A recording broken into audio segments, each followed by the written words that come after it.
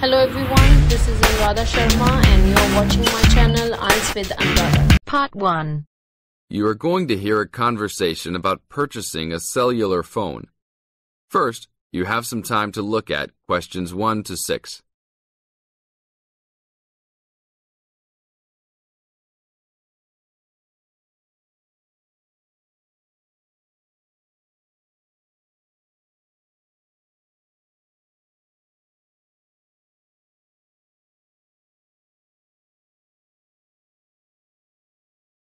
Now listen to the tape and answer questions 1 to 6. Excuse me, can you give me some information about purchasing a cellular phone? Of course, my pleasure. We carry all sorts of phones from the most basic phones to very sophisticated web-enabled phones. I will do my best to help you find a phone that suits your needs. Thanks. I'm looking for two cellular phones, one for me and one for my son. I think I won't need anything too sophisticated, just your basic phone functions. But maybe my son will like something with more functions. Sure, well, let's take a look. So you have no preferences at all? What about the size or colour? How about the brand? Well, I don't really care what brand the cell phone is, but I guess I don't want anything that's too big or too small. I want a phone that can fit nicely in my hand and in my pocket. If it's too big, it might be too heavy, and if it's too small, I might lose it. Colour, I don't really care about either. Well, I don't want a pink phone. Ah, okay, so let's look for something suitable for a working person. How about this one? This one is the R55. It is black, not too big, not too small, all the usual functions. The best feature of the R55 is that it can be used worldwide, even in Europe or Asia. It looks good. How much does it cost? It is only a $100. If you sign up for a calling plan, then we will give you a $50 discount on the phone. How old is this model though? I don't want anything that's too old. This model was introduced into the market about three years ago, so it is a bit older, but be assured it will still work fine. Well, I think I still want something not as old. How about from last year? Any good phones from around that time? Yes, there are some. How about this one? It's the new model of the phone you just looked at, called the W55. Most of the features are the same. There are some new features on the W55 though. The battery will last up to two days longer, and the overall weight of the phone is lighter. How much is this one? This is selling for $150. If you purchase it along with a phone plan, then it will be only $100. Okay, I think I'll take this one. Now, I need to pick up a phone for my son. I think he'll want something more trendy, so how about a new model for him? Nothing too extravagant or expensive, though. This right here is the newest offering from the leading company in the cellular phone business. The phone is called the Rocket. It is well suited for teenage users. Among the teen-friendly features are 10 songs to choose from, a free messaging system that allows friends to send text to each other, and voice recognition dialing. The thing most younger users like about the Rocket is that it has a screen that changes colours. All this for only $100 with a purchase of a one-year phone plan. Sounds like something my son will like. Can I sign us both up at once? Yes, of course. Both of you can share one plan. You will pay only $50 a month for both of you to share a plan. That's it? Only $50 a month? Yes, that's all. Now look at questions 7 to 10.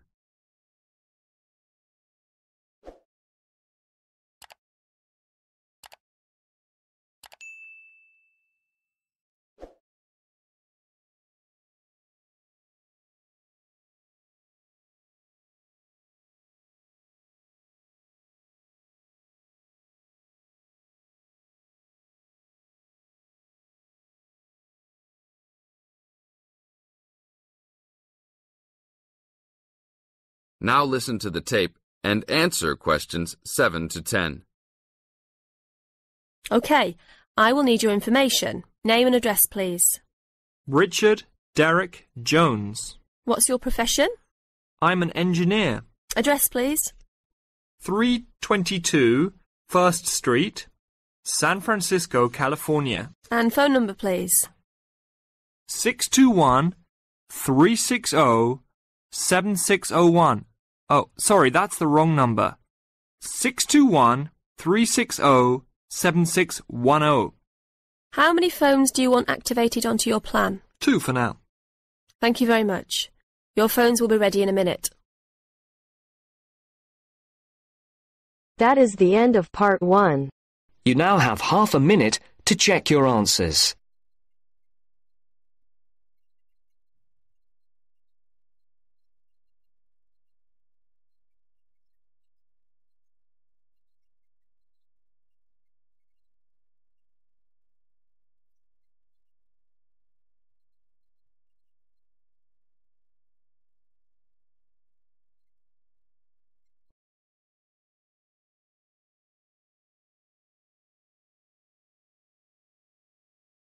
Now turns to part two.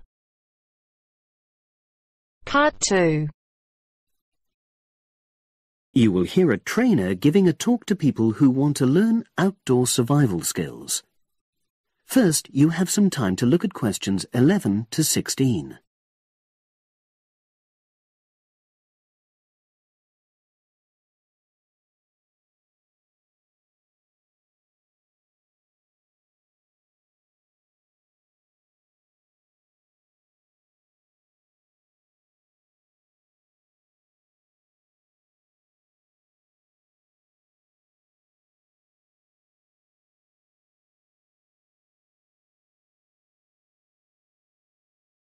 Now listen and answer questions 11 to 16. Good morning, everyone, and welcome to our outdoor survival program. As you know, this week you'll be learning some of the basic information and skills you need to look after yourself independently in the outdoors. These first two days will be based here in the classroom and then we'll be taking a camping trip to put into practice some of the things you've learned. I'm going to start off with the topic of food. And to start with, I'll describe just two methods which we'll be putting into practice at our camp and which make use of natural resources, the steam pit and the bamboo pot. I've got two posters here to make things clearer and I'll start with the steam pit here. To make this, you'll need some dry sticks, some grass, some loose earth, and some stones. And for this week only, some matches. the first thing you do is to dig a shallow pit in the place you've chosen to do your cooking. Let's say about 25 centimeters deep and 30 centimeters wide. Your sticks have to be a bit wider than the pit because you have to put a line of them along the top from one end of the pit to the other. Before setting light to these, you take some large stones and arrange them on top. Then you start the fire and wait till the wooden platform burns through and the stones fall into the pit. At this point, brush away any pieces of hot ash from the stones. You can use a handful of grass and then take another stick and push it down into the center of the pit between the stones. After that, you cover the whole pit with a thick layer of grass.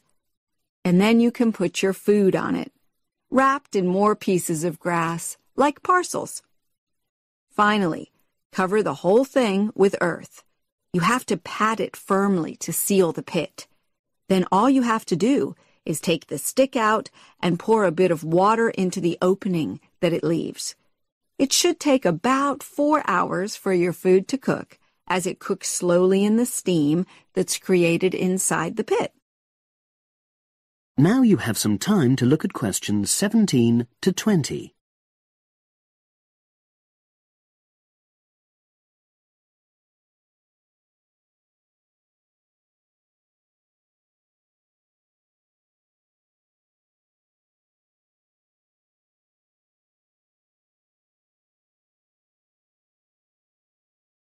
Now listen and answer questions 17 to 20. So, simple but effective. The other method you're going to practice this week is the bamboo oven. Now, the steam pit is ideal in certain conditions because the heat is below ground level. For example, if there's a strong wind and you're afraid a fire might spread. But when it's safe to have an open fire, you can use the bamboo oven method. You get a length of bamboo, which, as you probably know, is hollow and consists of a number of individual sections with a wall in between. You use a sharp stick to make a hole in each of the dividing walls apart from the end one. Then you lean the bamboo over a fire with the top propped up by a forked stick and the bottom sitting on the ground. You pour enough water in the top to fill the bottom section and then light a fire underneath that section to heat the water. Then you put your food inside the top section and the steam coming up the bamboo through the holes you made cooks it. I'm going to move on now to food itself and talk about some of the wild plants you might cook. I'm going to begin with fungi. That's mushrooms and toadstools. I'm sure you'll be aware that some of these are edible and they're delicious, but some of them are highly poisonous. Now, whether they're poisonous or not, all fungi that you find in the wild should be cooked before eating because that helps to destroy any compounds in them that might be mildly toxic. But be aware that any amount of cooking won't make poisonous varieties any safer to eat. Unless you can definitely identify a fungus, you should never eat it. It's not worth the risk. And you need to be really sure because some fungi that are poisonous are very similar in appearance to certain edible varieties. They can easily be mistaken for each other. So, having said all that, fungi are delicious when they're freshly picked, and although they are only moderately nutritious, they do contain minerals which the body needs. I'll move on now to leafy plants, which are generally That is the end of part two. You now have half a minute to check your answers.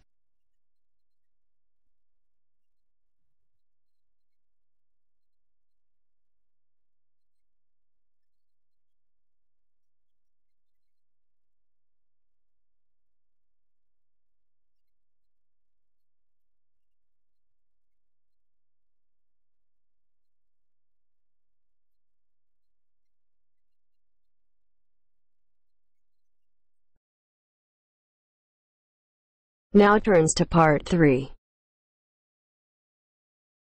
Part 3 First, you have some time to look at questions 21 to 26.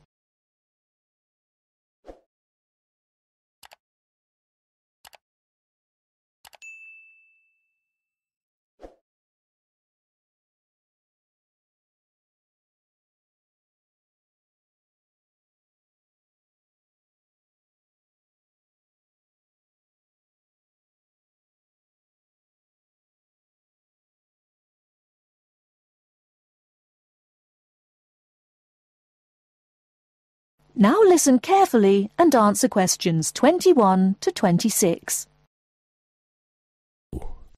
So, what was it like in your school then, Lynn?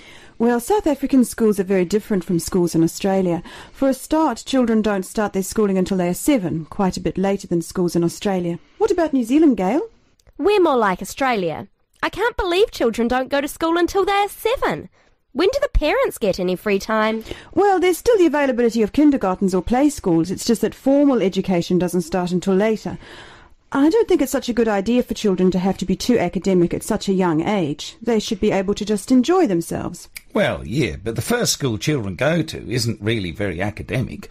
It's just an opportunity for children to learn a few basic social skills by playing and learning with other children. Yes, I'd agree with that. I guess being so close, Australian and New Zealand schools must be similar then. Well, I suppose they do share a lot of similarities, but there are also some differences. For example, children in New Zealand go through intermediate school, but in Australia there's only high school. That's right, isn't it, Pat? Yeah, I think so. What about South Africa, Lynn? Do you have an intermediate or high school? Oh, high school. And now the difference between Australian and New Zealand education is that although both countries have state schools and private schools, our private schools are very often run by religious groups, whereas New Zealand schools are secular. That's not true. There are quite a few religious schools in New Zealand. Oh, okay, maybe we are similar. Only a few South African schools have any religious connection, so I guess we're different. Most people go to state schools. Pat, is it true that some people from your country don't have to go to school at all? Well, that's partly true. Because of the geography of Australia, there are a lot of children who do not have access to schools, at least on a regular basis. Instead, they have a form of correspondence education, where the lessons are actually on the radio and the students send their work in by post. That way they get a lot of what they would if they were in the classroom, apart from the interaction. In New Zealand, not all students have to go to school either. Some parents have opted for homeschooling. Oh, is that like correspondence teaching? We don't really have that. Well, we do have correspondence schools, but homeschooling is different. With homeschooling, the parents teach the children and set them homework. They have to present a syllabus to their local education authority before they can do that, but it is becoming a more popular choice for some parents. I suppose it also suits parents' own commitments. I mean, they don't have to worry about collecting their children from school, and they can always teach over the weekend or in the evening if they want to. Is the school day normally quite long then? Not in New Zealand, but I think it can be in Australia. Yeah, that's right. I think Australia is unusual in that there are extracurricular activities which you have to go to.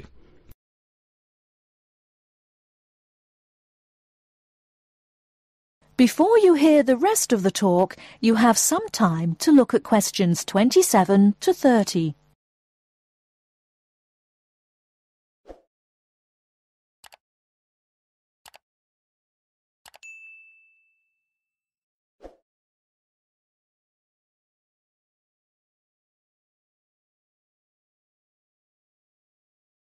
Now listen and answer questions 27 to 30. These are normally sport activities, but there are a few other options. We have activities after school for any student that is interested, but they aren't compulsory. What about in New Zealand, Gail? I had to do some sport every week. I didn't really like it, but it was part of the school day, so I guess that's not so bad. Anyway, I spent two years at boarding school, so things were a little different. Boarding school? What was that like? Well, the thing I remember most about it was the strict dress code. There were restrictions on everything. You had to wear a school uniform almost all of the time, and it had to be cleaned and ironed. The length of your skirt had to be no less than one inch above your knees when kneeling down. Sometimes we used to go out on school trips or just at weekends with a few friends, but whenever we were outside the school, we had to wear a hat. There was one teacher who always used to give me extra homework because my socks weren't pulled up, and that was in the school late in the evening. I suppose it wasn't that bad, but at the time it felt like a prison. I kept getting into trouble for something. Most of the time I forgot something, normally my school badge. We had to wear that all the time, in the school and out, because it had our house colours on it. Wow, that doesn't sound like much fun. No, but it was a good education, I suppose.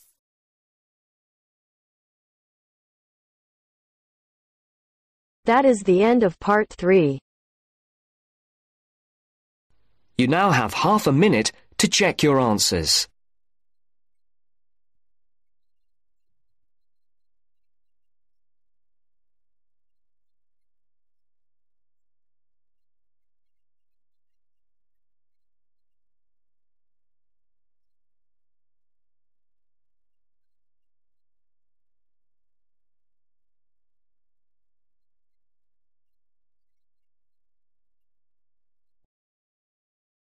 Now turns to part 4. Part 4 Going to hear a conversation between two students. They are talking about the English bars. As you listen, complete the notes below. First, you have some time to look at questions 31 to 40.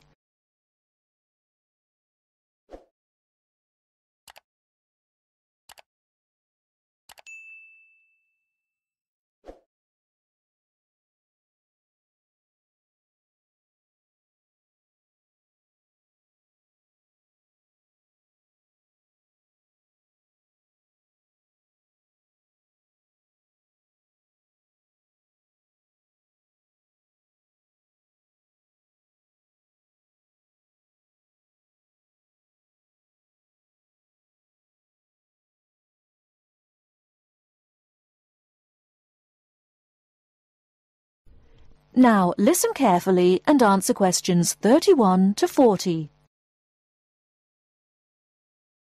Kevin, could you tell me something about the bars? I have never been to a bar. You see, Steve, my classmate, has invited me to go to a bar tonight. I see. You know, the word bar means a room in a pub. We say the bar when we mean the part of that room where drinks are kept. Soon after you go into the pub, you'll realize that nobody comes to the tables to take orders or money. Instead, customers go to the bar to buy their drinks. I see. People will go to the bar directly to get their drinks and don't wait for someone to come to take their orders. That's right. People don't queue at the bar, but they do wait till it's their turn. Oh, how do I pay? I mean, do I pay directly after I get the drink? Or do I have to wait till I'm ready to leave like I do in a restaurant? It's not the custom to pay for all your drinks when you're ready to leave. Instead, you pay at the bar each time you get drinks. It helps if you're ready to pay as soon as you're served, and you'll notice that many people wait with their money in their hands. I see. Do I have to give a tip? No, it's not the custom to give a tip. It's very common for friends to buy their drinks together in rounds. This means that each person takes a turn to buy drinks for everybody in the group. It's faster and easier, both for you and for the person serving, if drinks are bought in this way.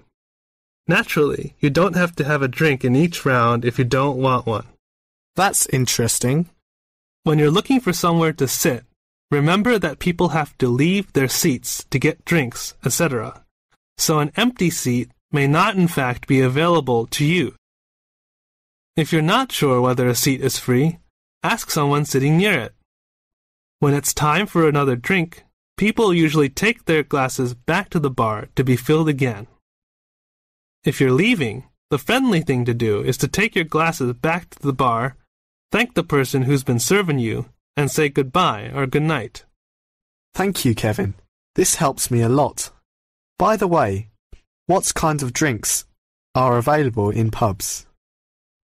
Well, you can get both alcoholic and non-alcoholic. Beside alcoholic drinks such as beer and wine, there is cider, which is made from apples, usually sold in bottles, port, a type of thick sweet wine from Portugal, sherry, which is a type of wine from Spain, and spirits. These are a kind of strong alcoholic drinks such as whiskey and brandy. What about non-alcoholic? I don't drink alcohol. Well, they offer all kinds of fruit juices, such as orange and tomato. These drinks are usually sold in small bottles. And soft drinks, we often call sweet drinks, like Coke and Fanta. They are normally sold in small bottles or cans. And lemonade, which is a clear and sweet drink made with carbonated water. They also serve cordials. What are cordials? Cordials are strong and sweet drinks tasting of fruit, such as lime cordial, black currant cordial. They are often added to other drinks or drunk with water. I don't like sweet drinks. Are there any other non-alcoholic drinks? Yes, mineral water, but it's not available in all pubs. Kevin, one more question. What is VAT? I saw this on most goods in Britain. Well, VAT stands for Value Added Tax. The price shown on most goods in Britain includes a tax of 15%. If you use the retail export scheme, this tax can be returned to you if you take the goods with you when you leave Britain. You may have to spend a certain sum of money before you qualify for the scheme, and you'll have to show your passport. Ask in the shop if they operate the retail export scheme. If they do, the shop assistant will explain how you can get the tax back and fill in a form with you. VAT is also charged on hotel, restaurant bills, theater, cinema tickets, and car hire. Are these refundable? No, it's not refundable in these cases. Thank you very much. I really learned a lot.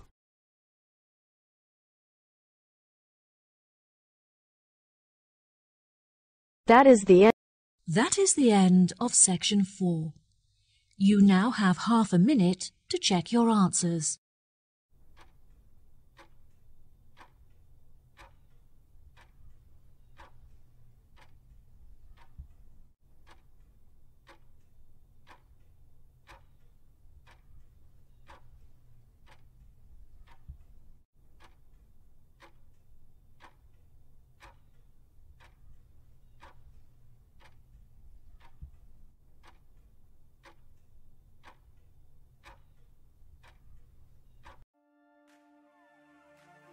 That is the end of the listening test.